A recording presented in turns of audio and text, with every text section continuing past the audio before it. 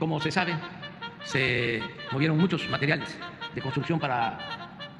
la realización del tren Maya. El compromiso es que ya eh, a partir de marzo, abril, vamos a empezar a mejorar todas las carreteras, básicamente las que eh, se afectaron, se dañaron con el traslado, con el tráfico de materiales de construcción para el tren Maya. Estaba yo leyendo hoy una información en donde se dice ya también la Secretaría de la Defensa se va a hacer cargo del mantenimiento de las carreteras, así como en general. Pues no,